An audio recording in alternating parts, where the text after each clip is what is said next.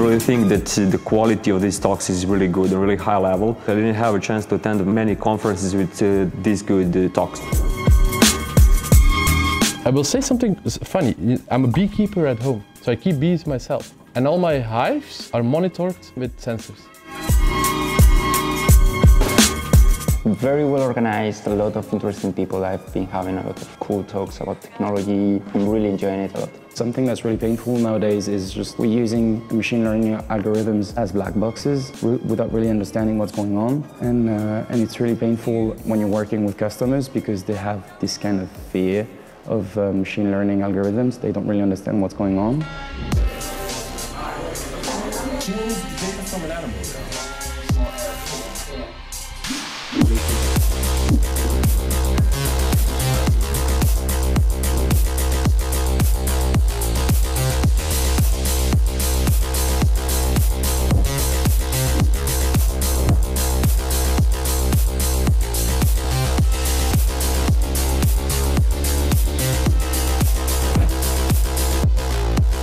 Machine learning, deep learning is going to take over the future.